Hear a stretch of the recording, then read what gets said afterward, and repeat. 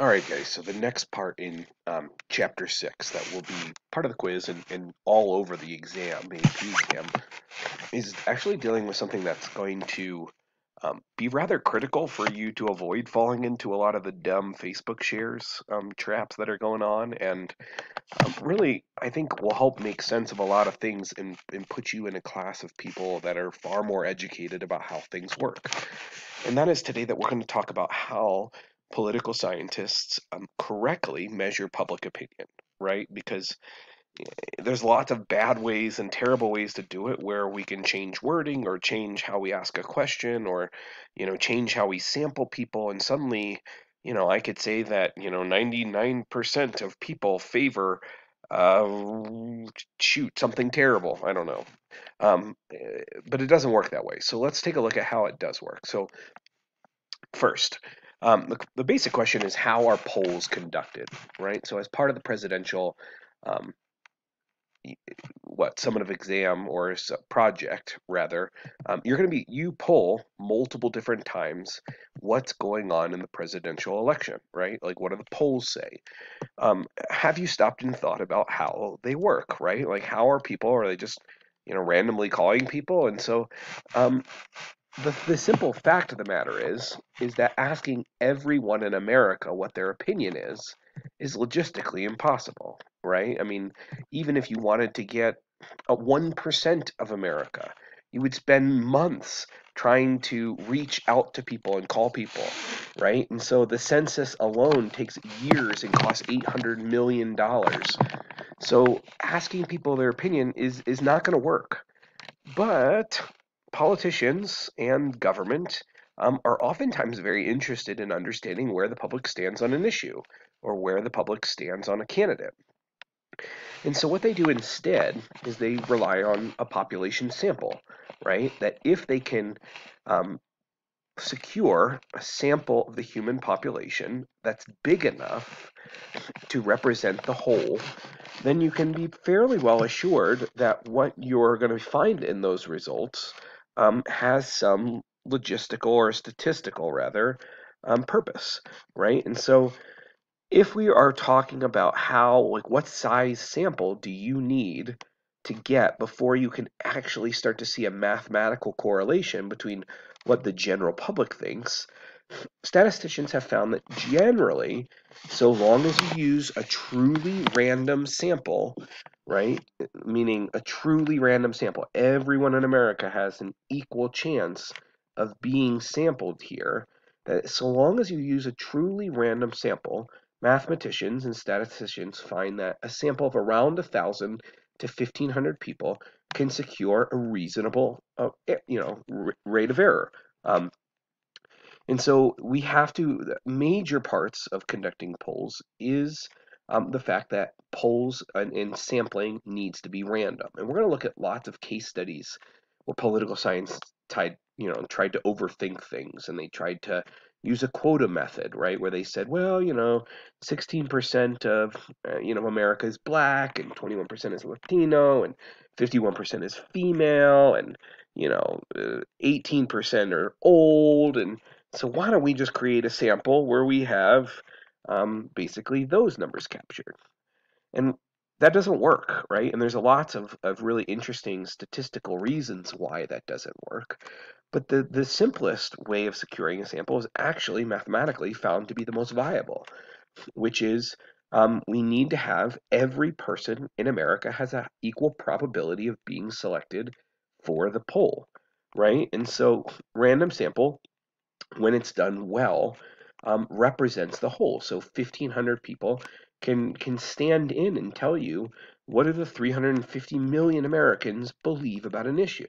Um, it's not perfect, and as you can see here on the the bottom, um, if you look at the the bar graph here or the line graph, you'll see a correlation between margin of error on the um, x-axis and size of the sample on on the y, right? And so we want to get the margin of error as low as possible, right? So if I do a poll, but there's a 35.9% margin of error, then if I tell you there's a, you know, 64% chance that you're going to win the lottery today, but oh, by the way, there's a 35% margin of error, then suddenly your your chance of actually winning the lottery becomes much less convincing, right? Because it could be 100% or it could be 30%.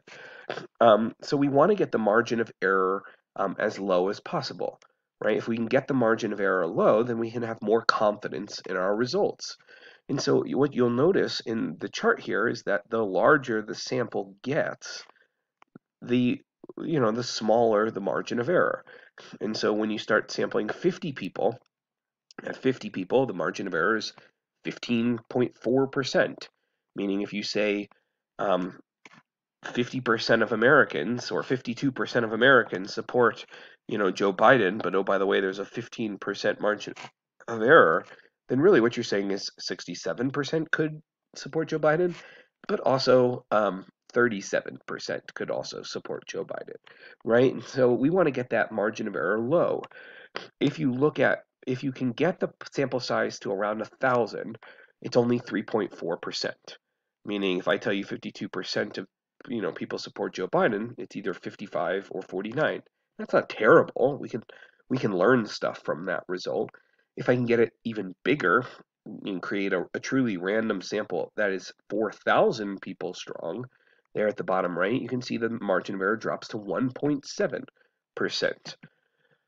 And so, you know, what we need to really focus on in order to be educated consumers of polling information, as we see it in the news and shared on Facebook and whatnot, you know, where we say, you know, 65% of Americans favor a return to dictatorship, right? Or 86% of Americans would like to see Colorado, uh, you know, removed from the nation, right? And so a lot of times we see crap like that on the internet, and if we do a little digging, we see that okay, this is a incredibly flawed poll.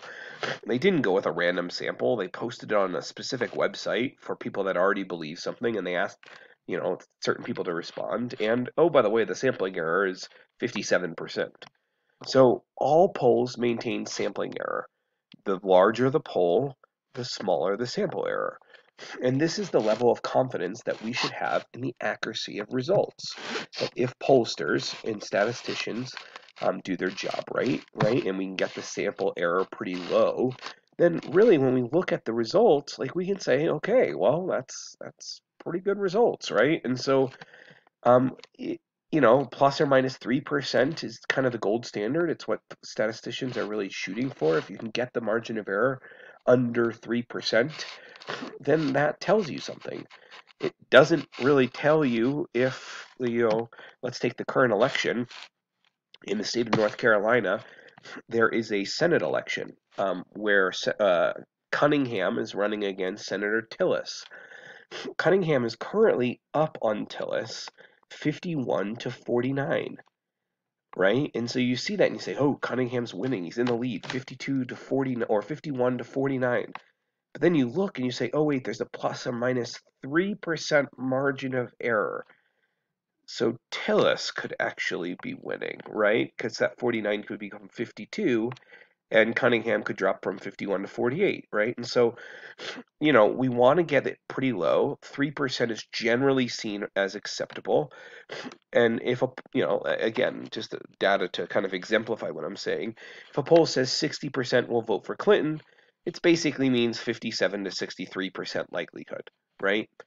And so, continuing how our polls conducted, right, we need to kind of close, more closely examine Okay, so you're doing a random sampling where, where everyone in America has an equal shot of being um, selected. What else do we need to know to make sure that the poll is valid? We need proper sampling techniques, right? And so proper sampling techniques is actually even more important than sample size. And there has been many times in history where, you know, polls will say, well, we had 30,000 people respond to this poll. And you think, whoa, that's a huge poll. It must be really, you know, really low margin of error. But then you look and you say, well, wait a second, what were your sampling techniques? And you look and you see um, that they did incredibly stupid things. So no matter how big the sample was, the poll is still going to be flawed. And this is best exemplified in, in something like in 1936. there was a poll out that incorrectly predicted that Franklin Delano Roosevelt was going to lose the election by 19%. But the poll was actually secured um, to Reader, Reader's Digest subscribers. And so it was specifically, you know, sent out to Reader's Digest subscribers, and everyone who subscribed to Reader's Digest would fill out this poll and send it back to them. And they'd use that, and they said, "Well, we got 75,000 responses, and it looks like FDR is going to lose by 19%." Well, what they found was that Reader's Digest subscribers were disproportionately wealthy, right? They were white and wealthy and you know tended to favor in certain parts of the country. And so when we actually looked at it it was like well you know FDR's major support was working class individuals with his new deal. And so all these rich people saying they, they're not going to vote for him didn't actually make a good poll and so really what pollsters do today and you can see it in the bottom right hand picture is they rely on random digit dialing right? Meaning the pollsters have programs where um, every time they hang up the phone, it randomly dials another set of numbers somewhere in the country, right? And somebody picks up and says, I can't do it, I'm busy eating dinner, and click on to the next person. But if they do this random digit dialing long enough, where they have a poll out in the field long enough, that they can usually get a thousand to fifteen hundred people to say, Sure, I'll answer your questions. And this random sampling um, is generally pretty representative of the national sample. And so, like I said, knowing how polls work will free you from taking the results as fact and allow you to not be sheep, right? And so now let's take a look. Okay, polls work through randomness. You need a, a big sample size. You need to make sure the language in your poll is not leading people. Like, let's take a look at the bottom.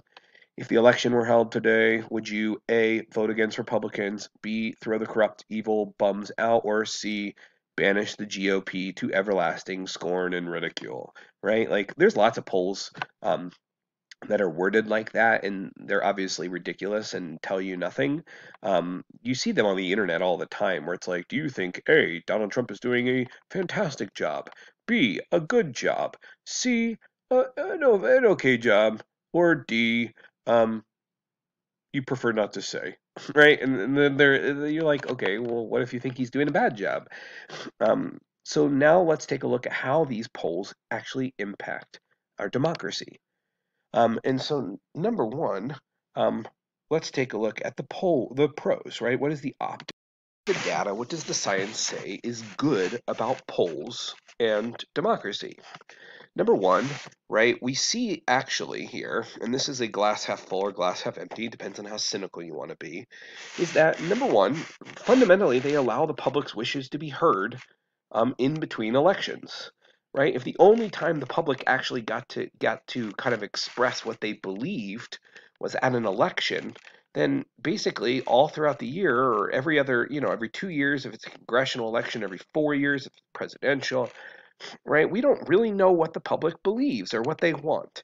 And so by using polls, um, political organizations and political parties and newspapers and media outlets can essentially get a pretty good read on what the public believes and what they want. So, okay, now you've you've got this good idea of what the public believes and what the public wants. What do you do with it? And the fact of the matter is is that honestly, the biggest impact of polls is it allows politicians to strategically craft their message, right? If they know that they're trying to get um, you know, healthcare reform passed, and they find out that when they use the word Obamacare, that it polls significantly worse than if they say the Affordable Care Act, guess what they're going to start calling it? The Affordable Care Act, right?